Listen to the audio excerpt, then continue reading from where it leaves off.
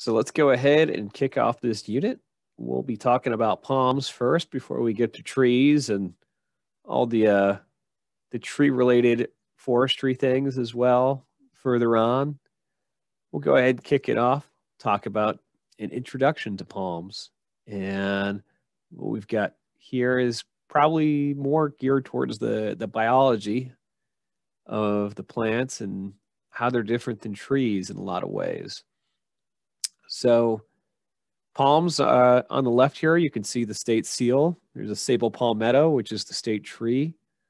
And you've even got saw palmettos down at the bottom of it. And, you know, we, we, a lot of, uh, there's a lot of palm, palm symbolism in uh, all sorts of seals for different municipalities, counties, cities, etc. And in addition, there's tons of native palms and non-native palms that do quite well here in Florida. And uh, South Carolina is technically the palmetto state, but I think uh, John Muir once said that uh, Florida is the true home to palms, and so there's a lot to cover here, uh, since they're a pretty big part of the landscape that we have so palms belong to uh, the division of flowering plants commonly referred to as monocotyledons or monocots. Uh, some other examples of monocots are grasses, uh, orchids, onions, things that tend to grow a vascular system that's very linear. And one of the big things that show that you'll notice with these plants is that when they initially germinate, they have a single cotyledon or a seed leaf that emerges. So that's the mono part, as opposed to dicotyledons or dicots is another division of flowering plants, and they have two leaves that show up, the di. So when a dicot um, emerges, yeah, it's got those two seed leaves. And I guess palms are technically referred to as arborescent, so tree like monocots. And However, palms have more in common with like a corn plant or a banana, some other monocots, uh, than they do with oak trees. And this means the anatomy of palms and how they grow is very different from the broadleaf trees. And so, because of that, you can see that their morphology and anatomy, uh, so internal structure, in, internal structure, are quite distinct, and they've got unique nutritional needs as well related to that. But they're technically all within one family of plants here within Arecaceae. So in all plants, uh, water moves up the xylem and carbohydrates like that are produced via photosynthesis, the energy, they move down through the phloem. So in general, whatever is moving in the xylem is moving up. Whereas whatever is moving in the phloem is moving down. Dicots, such as broadleaf trees, right? Like you'll see here, they have a vascular cambium, which is this red line. So in all plants, water moves through the xylem and carbohydrates that are produced through photosynthesis move through the phloem. Um, in general, uh, whatever is moving in the xylem is moving up whereas whatever is moving in the phloem is moving down. So dicots, uh, which broadleaf trees are part of, I want to point out here, they typically have something called a vascular cambium, which is this red line here. And it forms a breakdown between the xylem and the phloem. So the xylem is shown here in pink. The phloem is this part here uh, that's green, and it continually expands outward as the tree grows. It's basically used to uh, grow, make the tree grow wider horizontally, uh, while the tree at the same time is growing taller vertically. And so this is in quite uh, contrast with what palms do. Palms, they they basically have one part of it, the plant that acts as the main node of growth. And so basically they just keep moving upwards and they don't grow outwards vertically at all. So in contrast here, the, like this this palm tree, this cross section of a trunk, uh, they don't grow outward at all. Um, they've got no vascular cambium, and you can see that the that these little bundles right here, those are actually the xylem and the phloem together. They grow in these little bundles, and once the bundle is formed, there is no additional or new xylem and phloem formed in the bundle. So as the palm tree increases in height, the xylem and phloem tissue extends in length also. And so another analogy that you might be able to think of is a palm is a little bit like a concrete pole. Uh, you have got metal rods that that tend to run all the way up it and support the pole. And so that's kind of what like these vascular bundles are like. Um, inside of this this other stuff that's going on here, uh, that's the filler. It's called the parenchyma, and these cells are like water balloons. They expand and contract depending on the amount of water outside of the palm trunk. Um, it is the permanent expansion of some parenchyma cells that provides an increase in diameter of palm trunks. So you can see it sometimes like different parts of the palm trunk might have different uh, widths that is related to this parenchyma. So as I kind of mentioned earlier, like the the xylem and phloem are together in these bundles. And uh, as you can see, this cortex, this is their parenchyma is, that's where um, there are no bundles. If you were to zoom in on the bundles, this is what they would look like. So here's a, mi a microscopic view. Then if you were to go even further, you can see uh, what the the vascular bundles look like, and then what in uh, the vascular bundles being surrounded by these parenchyma cells. So what we've got here is a cross section of a pygmy date palm, Phoenix roebelenii. And the big thing we want to point and bring to your attention are these little vascular bundles that are distributed all throughout the trunk.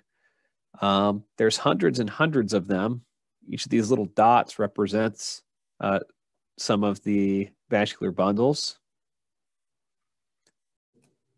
However, in other palms, like our native cabbage palm, that are larger, typically you've got more vascular bundles that are concentrated to the outside area of the trunk and fewer vascular bundles in the middle of the trunk. So, and another thing here is the outside of it this epidermis uh, cortex area. Uh, technically, palms don't have bark. They've got something that's more of a pseudobark. And it's a combination of epidermis and cortex. And it doesn't really have a huge uh, function. Like it, there's no vascular uh, parts of the plant within it. So technically, it doesn't really in, inhibit the plant from doing a lot of its core functions, but it can be unsightly if uh, there starts to be anything uh, that breaks down on the outside of it. It's just mostly aesthetic.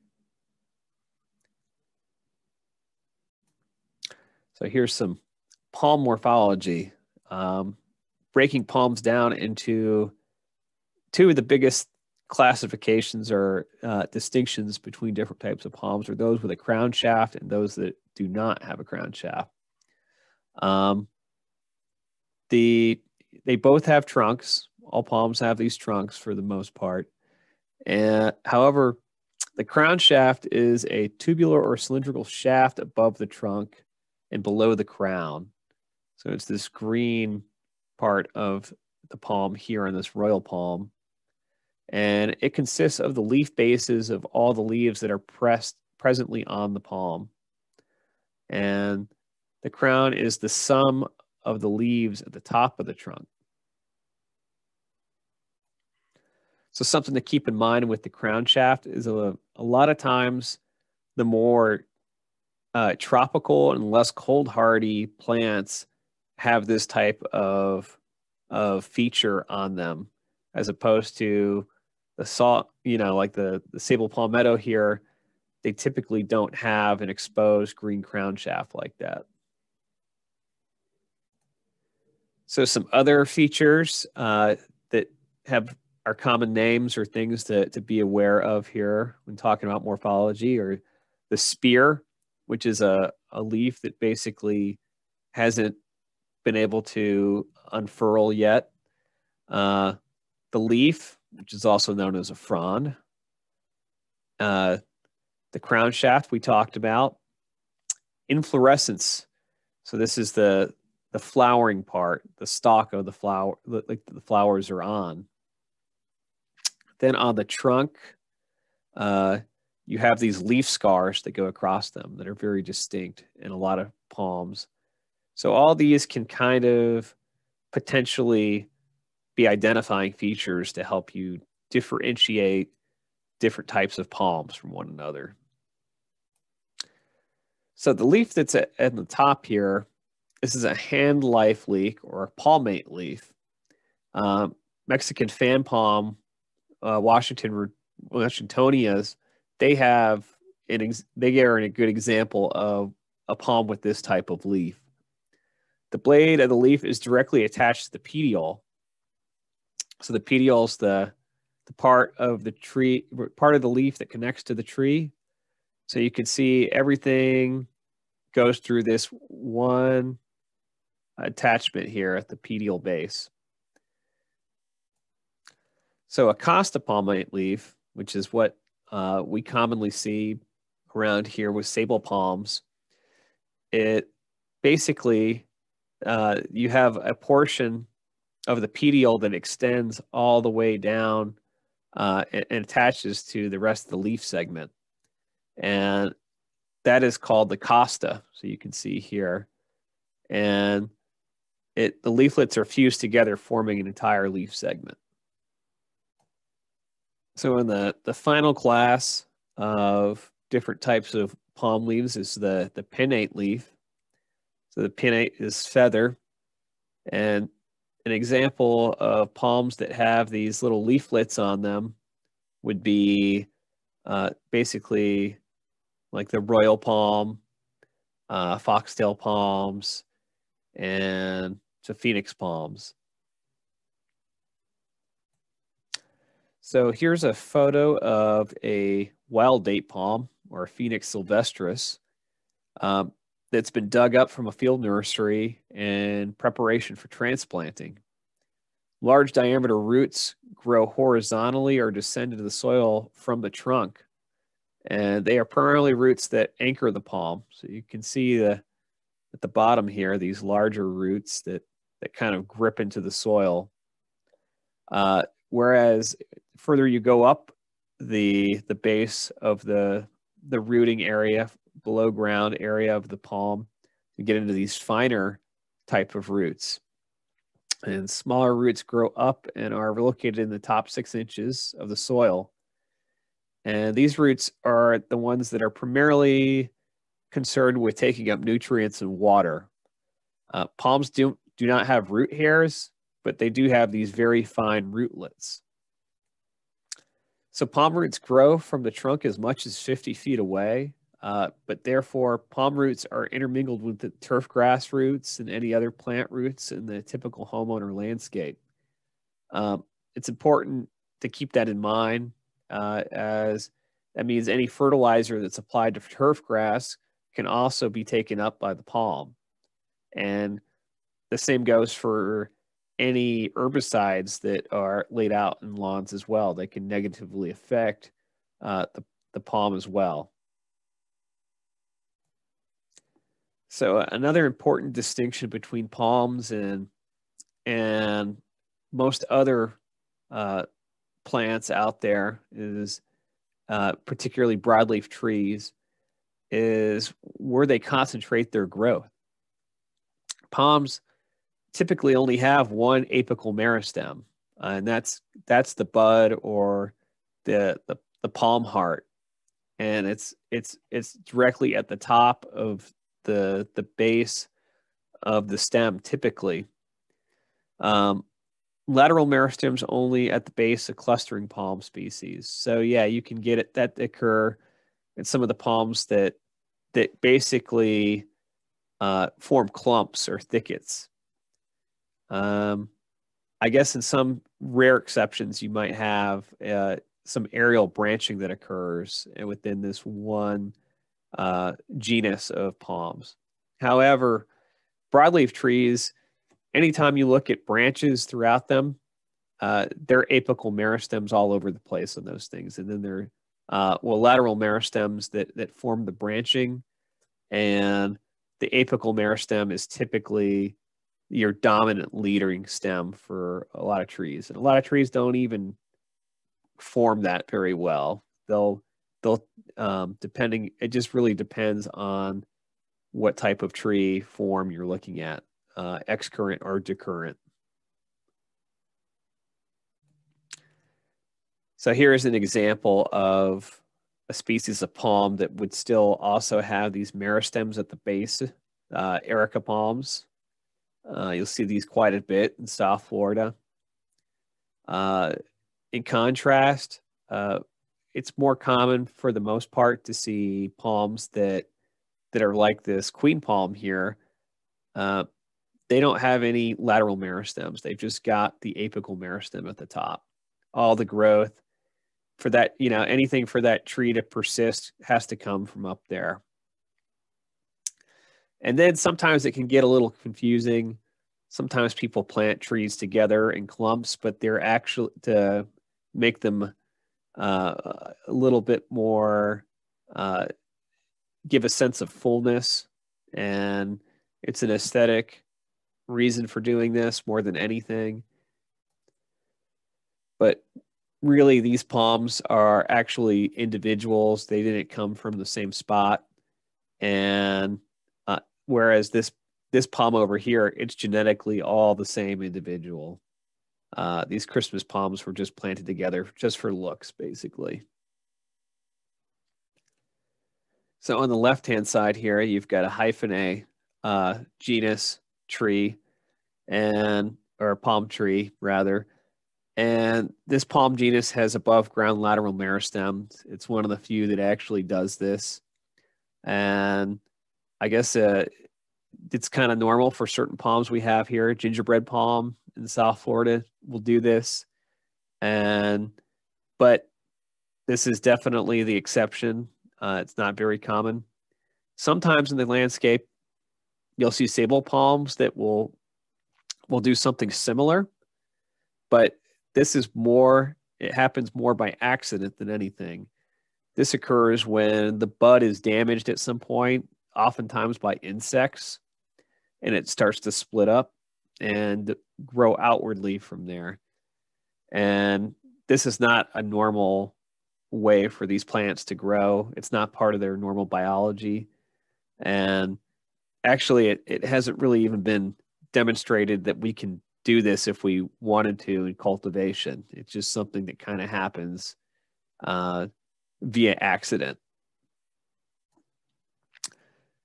So, the number of leaves produced and retained is typically a function of the palm species and the environment. Um, and especially that of nutrition. And in general, for every visible leaf, there's an equal number of leaves in development in the apical meristem. So if you damage the apical meristem, you're affecting the leaves that have yet to emerge.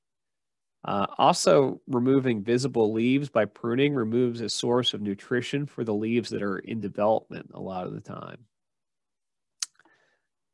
Uh, a new leaf will live for at least two years, usually longer. However, this is determined by the palm species and the nutritional health of the palm. This is also influenced uh, by the normal temperature environment where the palm is growing. So, for example, a healthy coconut palm in southern Florida will produce one, le- one leaf every five weeks. If you were to put it in central Florida, there would be a longer interval between leaf production for the coconut palm, especially throughout the colder months of the year. So we we've got a longitudinal cross section in this photo of uh, basically the apical meristem cut in half here, and basically this is all the bud or the heart of the palm. The white arrow here is pointing towards uh, an inflorescence that was the flowering portion that you see developing on the sides sometimes of the palms. So that's that's what it looks like when it's in development. And then beneath here, um, in this orange half circle, this is the true part of the meristem formation. And it basically, it's just an area that is full of quickly dividing cells. Uh, you could think of it also, and these cells can form all different parts of the plant. They're almost like stem cells, but for plants, basically. And you can see that, like, yeah, there's also, this is going on to form uh, leaves, it looks like, as well here. So within palms, you can have three different potential locations depending on the species of where the inflorescences and the fruit can come out of. You've got terminal, which come through the above the canopy. Uh, you can have them within the canopy uh, in the leaf axil or below the crown shaft. So overall, there's two different flowering patterns. Uh, Hapaxanthic palm will flower and then the palm will begin to die. Uh, and this could be quite a shock to a person if they're not aware that the tree that they've got uh, it has this type of flowering pattern. On the other hand, you've got pleonanthic palms, and they'll continuously flower. And you can potentially have some palms that are continuously always producing flowers throughout the year, kind of like the coconut palm. Or uh, some of these will maybe only produce like one flush uh, flowers and fruit a year, like the sabal palmetto.